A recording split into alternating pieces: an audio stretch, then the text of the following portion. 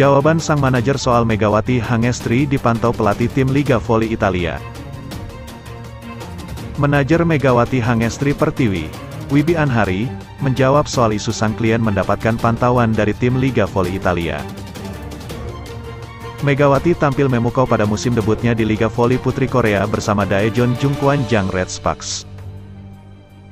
Mega, panggilan Megawati di Korea Selatan, menorehkan sensasi sejak kali pertama melakoni pertandingan pertama bersama Red Sparks, Oktober lalu. Konsistensi Megawati sebagai poin maker Red Sparks menarik perhatian volimania tanah air, termasuk media internasional.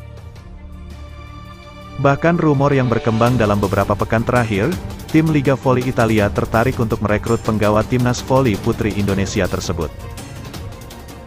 Bahkan bukan pemandu bakat yang dikirim ke Korea Selatan, kabarnya justru pelatih dari tim tersebut yang langsung menyaksikan pertandingan Megawati bersama Red Sparks.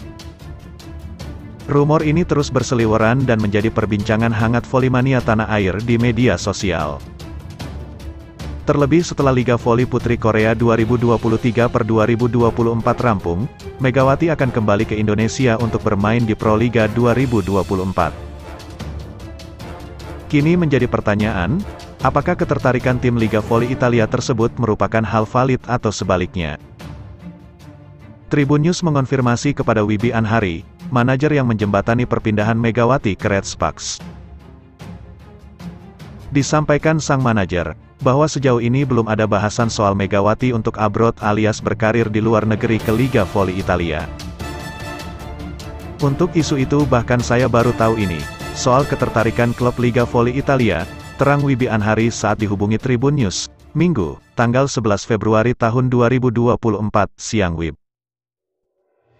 Sebatas yang saya ketahui, Mega fokus ke Pro Liga 2024, kata Wibi menjawab soal masa depan sang pevoli setelah meninggalkan Red Sparks. Disinggung soal kemungkinan Megawati berkarir di Liga Voli Italia, Wibi mengaku belum bisa memastikan. Belum tahu untuk kemungkinan itu, katanya menambahkan. Sebagai informasi, Liga Voli Italia merupakan salah satu kompetisi terbaik bola voli domestik, bersama Liga Voli Turki. Tak heran pevoli dunia banyak yang memilih untuk berkarir di negeri pizza. Tiga di antara contoh spiker terbaik Asia saat ini, Yuji Nishida, Yuki Ishikawa dan Ran Takahashi, pernah berkarir di Liga Voli Italia. Di satu lain, Megawati saat ini tengah fokus bersama Red Sparks untuk menyukseskan misi lolos ke babak playoff Liga Voli Putri Korea. Hanya tiga tim teratas yang bisa lolos ke babak playoff setelah merampungkan enam putaran fase reguler. Saat ini tim Megawati Hangestri berada di posisi 4 klasemen Liga Voli Putri Korea. Tiga di antara contoh spiker terbaik Asia saat ini, Yuji Nishida, Yuki Ishikawa dan Ran Takahashi, pernah berkarir di Liga Voli Italia. Di satu lain, Megawati saat ini tengah fokus bersama Red Sparks untuk menyukseskan misi lolos ke babak playoff Liga Voli Putri Korea. Hanya tiga tim teratas yang bisa lolos ke babak playoff setelah merampungkan enam putaran fase reguler. Saat ini tim Megawati Hangestri berada di posisi 4 klasemen Liga Voli Putri Korea.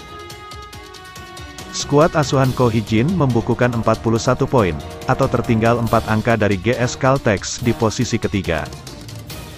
Peluang Red Sparks melaju ke babak selanjutnya masih terbuka, mengingat fase reguler masih menyisakan 9 laga. Megawati Hangestri menjadi pevoli draft Asia tersukses di Liga Voli Putri Korea 2023 per 2024.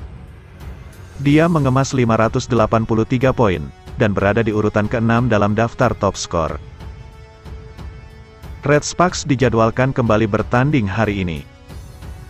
Minggu, Tanggal 11 Februari tahun 2024, melawan Korea Express High pas pukul 14 Wibasil Liga Voli Korea, Red Sparks cegah juara bertahan bangkit, Megawati Hangestri jadi MVP. Pada laga keempat putaran kelima Liga Voli Korea tahun 2023 sampai tahun 2024 yang digelar di Chungmu Gymnasium, Minggu, tanggal 11 Februari tahun 2024, Red Sparks menang 3 sampai 1, 25 sampai 23, 25 sampai 23, 20 sampai 25, 25 sampai 21. Pebola voli putri Indonesia, Megawati Hangestri Pertiwi, yang menjadi opposite Red Sparks menjadi pemain terbaik, MVP, dalam laga ini dengan mencetak 22 poin. Fanya Bukilik mencetak poin pertama untuk high pass. Setelah itu, Red Sparks menyeimbangkan kedudukan 4-4. Service error dari Mega membuat high pass unggul 5-4. Servis S Gia membayar kegagalan servis Mega sebelumnya hingga Red Sparks memimpin 7-5. High Pass kembali-kembali menyamakan kedudukan setelah blok Kapten Red Sparks, Lee So yang mampu ditembus.